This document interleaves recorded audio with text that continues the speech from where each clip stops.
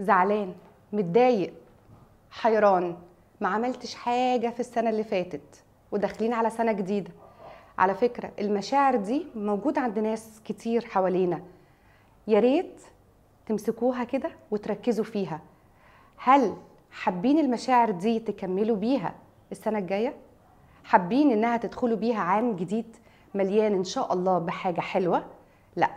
الناس اللي بتعاني إن هي ما حققتش أي إنجاز ولا عملت حاجة وحاسة بإحباط وإحساس إنها ماليش لازمة أنا ما حققتش حاجة.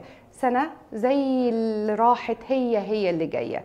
لا نقف وقفة بقى ونقول لهم لسه في أمل. ربنا خلق فيك الروح عشان تكمل عشان حتى لو ما أنجزتش حاجة دلوقتي ولا عملت أي نجاح لا في أمل. رب مديك عمر تقدر إن أنت تظبط أفكارك. ما هي أفكارنا؟ بتأثر على مشاعرنا. مشاعر الإحباط واليأس وإن أنا ما عملتش حاجة لو غيرت الفكرة بتاعتك وقعدت تفكر إزاي أقدر إن أنا أغير من أسلوب حياتي من طريقتي في إنجاز أي شيء هقدر. بس أهم حاجة يكون جوانا العزيمة والإرادة والرغبة. إحساسك إن أنت عايز دي بتوفر عليك حاجات كتير جدا.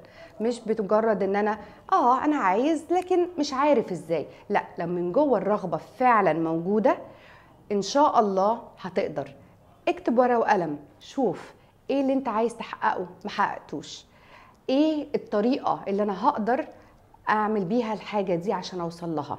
هل محتاج دعم من الخارج؟ حد من صحابك؟ حد من قرايبك؟ حد تدرس حاجة معينة تفيدك علشان تقدر تنجز حاجة أو تحقق الحاجة دي حاول اسعى رتب أفكارك. أفكارك هتغير المشاعر السلبية.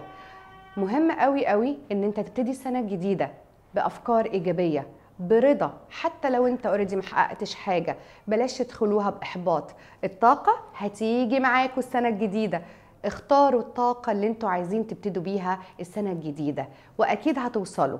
ليه؟ لأن إحنا بنتعلم من أخطائنا. حتى لو غلطت سنة كان عندي ظروف. ما كنتش قادر بس ما تكملش حياتك كده. لسه الدنيا فيها خير وفيها حاجات كتير ممكن تعملها.